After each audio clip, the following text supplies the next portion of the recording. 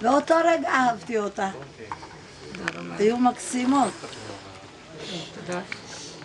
אני כבר ראיתי אותה פעם שעברה אצל איריס, הייתי פה בפעם שעברה, שנה שעברה זה היה.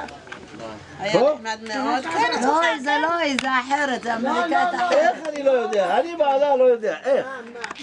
זה לא היא, זו הייתה אמריקאית אחרת. כן? שהיא נשואה, שעשיתם את המרק האדום. שמעה, כל פעם אנחנו מביאים לך. המרק אה, לא האדום? מביאים כל פעם תנהגי. באנגלית. לא, לא, לא, היותר מבוגרת ממנה. למלכה שנסעה.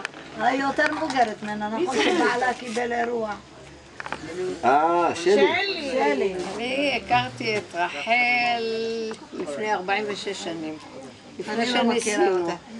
היינו בטיולים ובבתי מלון ילדות. ובכל מיני מקומות עשינו כיף חיים. והיו גם דברים ביני ובינה, היו דברים שזה לא לפרסום, שאני בטח חושבת מי יודע מה, אבל זה בסדר. עכשיו את כמו הזקנה שאנסו אותה, והיא הלכה למשטרה, ואמרו, מתי אנסו אותך? אמרה זוכרת. לפני עשרים שנה. אמר, ועכשיו את מתלוננת, עכשיו נזכרת, אמרה, נעים לי זוכר.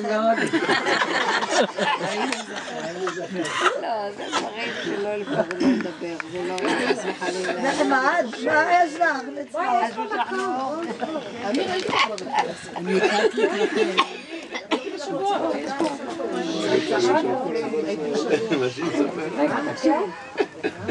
רגע, תמשיכי הלאה. את רחל כשהייתה עוד רווקה.